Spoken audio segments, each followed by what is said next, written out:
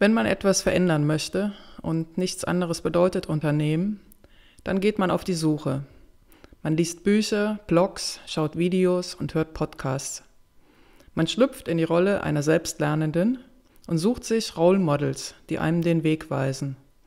Es gibt Workshops, Kurse, ganze BWL-Studiengänge, aber nichts hilft einem so richtig, unternehmerisch zu wirken. Also sucht man weiter, immer weiter, man schaut sich Websites von anderen an, wie sie sich eigentlich finanzieren.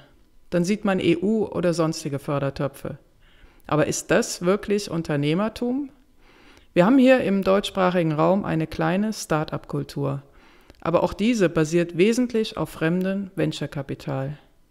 Nur wenige Unternehmen scheinen wirklich sinnvolle Dienstleistungen oder Produkte zu vertreiben, die vom Markt benötigt werden von einem sinnhaften Markt, nicht diesem weit verbreiteten, sinnentleerten Markt.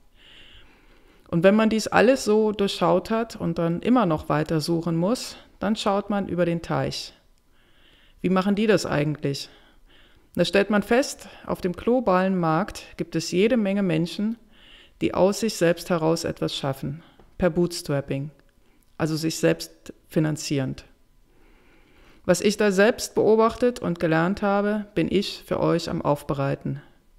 Ich zeige euch Modelle von anderen ganz normalen Menschen, gleich welchen Alters, die sich auf den Weg gemacht haben und gut davon leben können. Schaut es euch an, ihr werdet sicherlich ähnlich staunen wie ich.